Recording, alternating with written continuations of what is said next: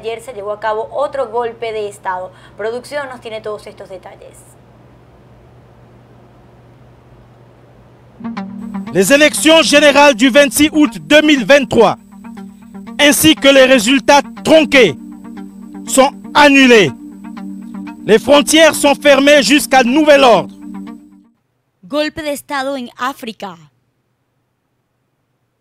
Gabón se convirtió este miércoles en el sexto país africano en sufrir un golpe de Estado en los últimos tres años, de acuerdo con una estadística que resalta que incluso en dos de esas naciones hubo dos revoluciones con poca diferencia de tiempo entre sí.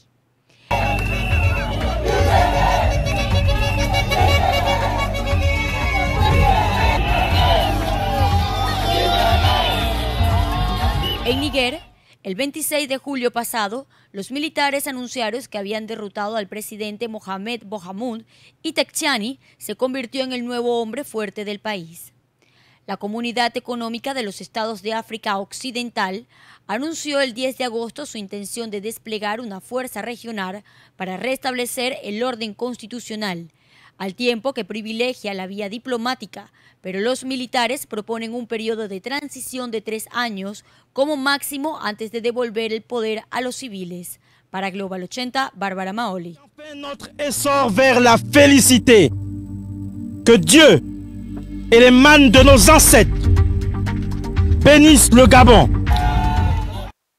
Serían parte de los acontecimientos que están sucediendo en varios países de África. Tenemos que recordar de que en los últimos seis meses han habido diferentes levantamientos militares en donde actualmente el 80% de la población se encuentra de acuerdo con estos golpes de Estado y sacar al gobierno actual.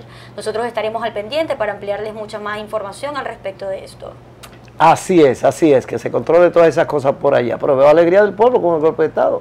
Claro, es que las personas están a favor. O sea, hay un estudio que se ha realizado en casi todos los países de África, en donde incluso se estima que el 80% de las poblaciones están de acuerdo con sacar los gobiernos actuales, que son también pro-franceses, que son gobiernos que también han robado el oro, el cobalto, los diamantes de estos países para dárselos a territorio y dictadores mucho. Y dictadores, así es. Entonces, ahorita lo que estamos viendo en la agenda geopolítica es un cambio económico, un cambio social, como ya bien lo hemos mencionado en otras oportunidades. Esto incluso puede ser el comienzo de un nuevo bloque en África. Ya también se ha comenzado a hablar de una nueva moneda para comercializar dentro de los países de África.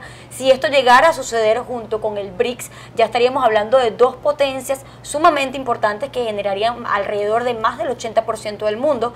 Así que eso sería un golpe económico sumamente fuerte para el mundo entero. Así es. ¿Qué más tenemos? Pasando a otras informaciones, vamos